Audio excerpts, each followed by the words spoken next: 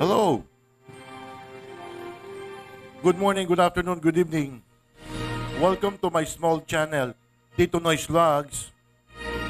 I hope nasa mabuti kayong kalagayan.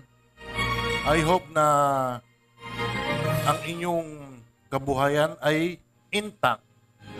Hindi nagpapaloko sa mga nanloloko. Nakikita nyo screen naman, scam. Pag-usapan natin mga investment, investment na yan ha.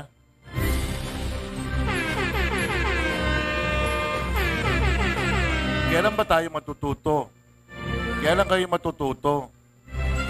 Hindi naman tayo 1980s or 1990s.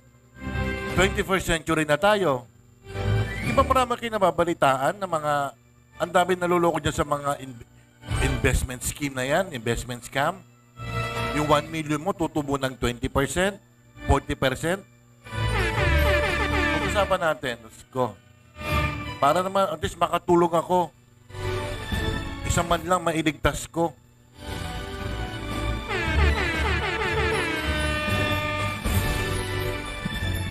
Syndicated staff ang tawag dyan, yung mga naluloko ha. Hindi ko la, nilalahat ang mga investment company ha. May mga legit. Mababa nga lang ang ano, investment. Ang porsyento. Hindi mo pinaghirapan nyo, blood, sweat, and tears? Mawawala na ng biglang ano, parang bula. May iba nga dyan eh, ano eh, tinatapos ang buhay dahil ah, sinisisi yung sarili, bakit ba ininvest niya yung pera niya dyan sa investment company niyan? May mga style yan eh. Siyempre, may payout yan yung una. Or maybe may pangalawa. Pero pag pangatlo, pang-apat, etc., goodbye your money.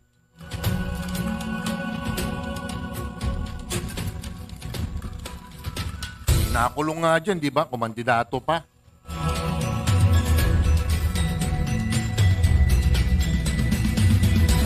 Pag-ingatan natin yung kabuhayan natin. May mga OFW pa na biktima pa ata rito. Yung mga nakita yung sa social media, may mga ads-ads. Nako, huwag kayo masyadong ano, mag-research muna kayo bago kayo mag-invest.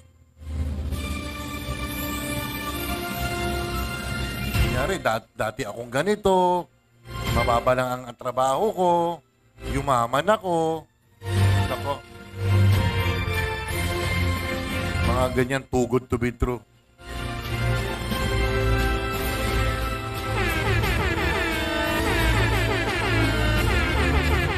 Maghahangad ka ng malaki. Ang kapalit, grabe. Pagsisisi. Inuulit ko, hindi lahat. Karamihan lang. Mga manloloko.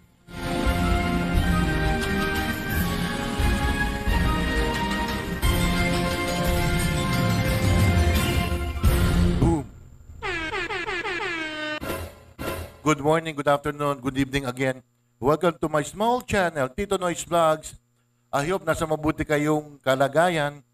Sana ang kalusugan natin is maayos. O ito mga kababayan ko.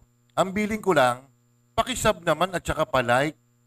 Yung sa NB, NB tin ko, 100 plus ang nag-views. Wala bang, wala bang nag-like? Wala nag-subscribe? Kasi, para naman at least mapansin ng channel ko ha. O hindi ako, o, hindi ko habol ang pera ha. O meron akong ano diyan, yung tungkol sa mga TikTokers saka influencer, yung nilapastangan ng pera natin, meron din ako ha. Pag-usapan natin mga kababayan tungkol dito sa investment scam na to ha. Inuulit ko, disclaimer, hindi ko nilalahat. Ha? Meron ito. Al- alam nyo, I think 90s or 2000s, may mga nahuhuli ng ano eh. Remember a certain Balaj- Balajay? Di ba nakakulong ngayon yon? Oh, di ba may pyramiding scam yon? Oh, nakakulong siya. Maraming nasirang buhay dahil dyan sa mga investment scam na yan. May mga magre-recruit dyan, may down, ang tawag dito, ah, may tawag dun eh, yung down, an- basta may upright ba yun, ewan. Ito, founder ng isang kumpanya sa Negros, arestado sa investment scam. Oh. Hindi lang to mga kababayan ko, marami pang ganitong nabalita na mag-invest ka ng 1 million sa akin. 20 or 40% ang makukuha mo interest sa isang buwan ha. Sus. Siyempre, ako, ako naman, may pera ako, gusto ko lumago ang pera ko. O kung may 1 million ka, 40%, kikita yung 1 million mo ng 400,000. Pero, isang payout lang yan, mga kababayan ko. Second, third, fourth, etc. Goodbye na yan. O, di ba?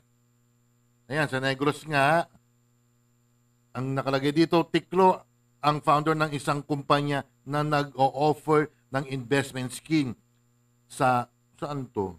Bin, Binalbagan, Negros Occidental. Alam nyo, para may nabalita pa nga News 5 eh, di umano ah. Nakalimutan ko lang, siguro 2 years ago yon. Opisyal. Ayoko na sabihin ng probinsya.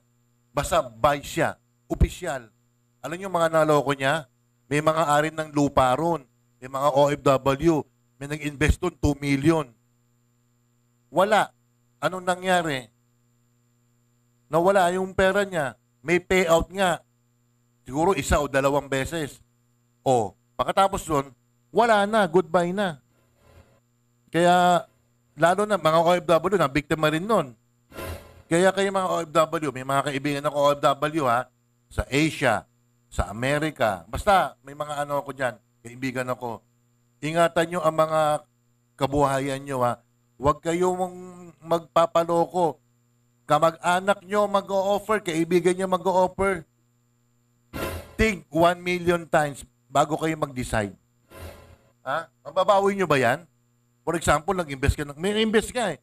May nag-invest ha. Teacher siya. 5 million pesos. Retirement niya yun eh. Siguro privado or ano yun, nasa public siya. Ayun, nawala. O pa- paano babayaran yon? Dahil sa, sorry for the word, greed of money. Greed for money. Kaya ano eh, okay lang ilagay nyo sa bangko yan. Pero yung matibay na bangko naman ha, ang time deposit per annum ha, 2%. Alam ko may mataas eh, 2.5 eh. At least doon, safe ang pera mo, may insurance pa na 500,000 pesos.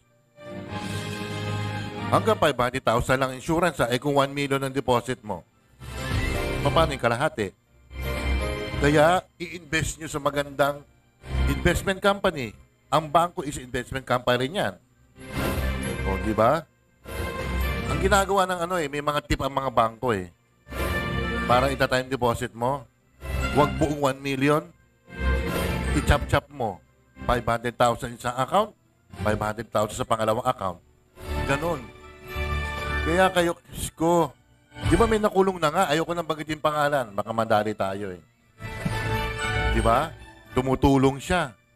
Marami nang invest sa kanya. May isang vlogger nga, naloko ng kalahating milyon eh. Oh, hindi ko na papangalanan ah, para sa privacy niya. Sorry for the word ah. May mga investment naman talaga na legal. Pero kung ikakati- ipagkatitiwala mo yan sa isang ahente, much more, much better, dumiretso ko na lang doon sa kumpanyang yun. Ha? May stock market tayo, pero parang sugal din ng stock market. Stock, excuse me. Stock market, stock, stock market. May mutual fund tayo. What I think, gobyerno ang namamalakad yan. Ano ba yung 3% per annum or 5%? May insurance yan. At least, safe yan. Gobyerno ang nagpapalakad. Di ba? Pero yung mga scheme na to, yung sa private, ako, napakahirap nito. Ang, ang CCA nasa huli. Di ba? Sa akin, may mga nag-aalok yan eh. Paano mo ko alok? Wala man ako yung invest sa inyo. Tsaka alam ko na yan eh. In fairness, may sinalihan ako ng ano, ah, hindi siya investment, parang tawag din, networking. Ayun talaga may produkto, nibebenta ako. Kumikita naman ako talaga noon, pero hininto ko lang.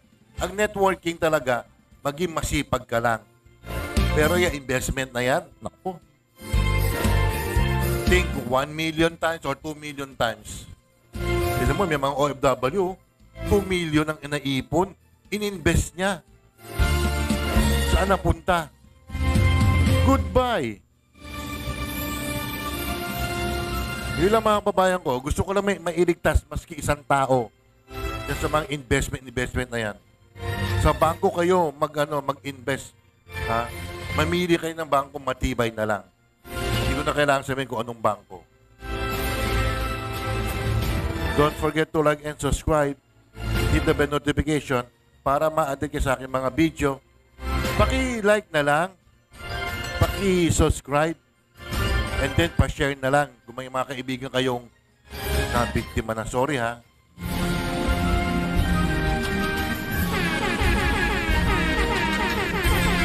Ingatan ng pera natin.